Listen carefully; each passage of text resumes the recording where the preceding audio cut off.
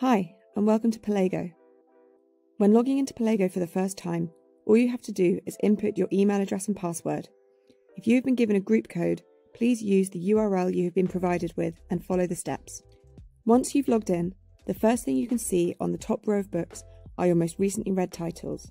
If you scroll down, you can see books that are trending and top picks tailored to you. Searching is simple. You can type into the search bar any author, ISBN, topic, or publisher or when you click into the search bar, you are taken straight into the library, which you can filter down in a number of different ways. Firstly, as we are a multilingual library, you can look for results in English, German, Italian, and Spanish. Then you can start choosing from any of the publishers, curated reading lists, or hundreds of topics. From here, you can drill down by publication date, publisher, author, or format.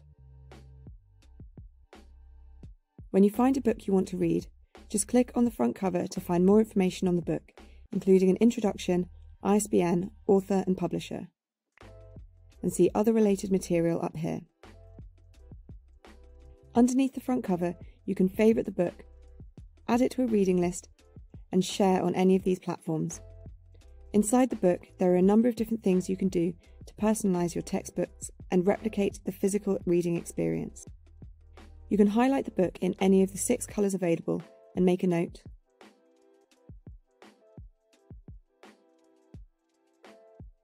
Here you can change the font or increase or decrease the size. Change the background to sepia or black if you are reading at night or your eyes are tired. There is a bookmark tab, and you can even reference the chapter by clicking on this link. To make navigating through books easy, you can jump to a different chapter and see all your notes here. Because each chapter has a unique hyperlink, you can share this book from the exact chapter you are currently reading just by copying the URL. Other users clicking on your link will be directed straight to the chapter. In the My Library section, you can find your personal selection of books. This first row are the books you have started reading already.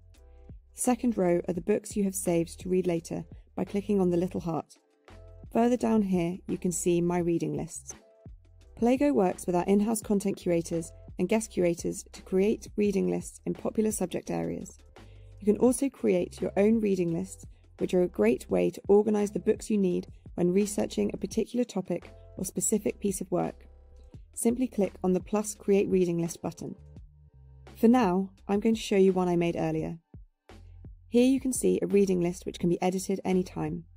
You can change the title, include a general introduction, and some text for each book. You can also reorder the books here.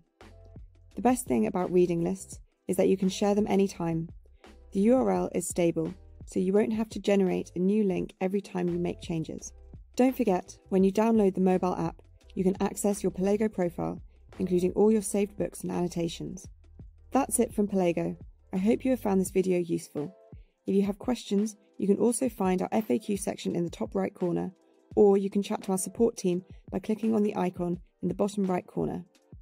Please don't forget to follow us on social media to get all our latest updates. Thank you for your time.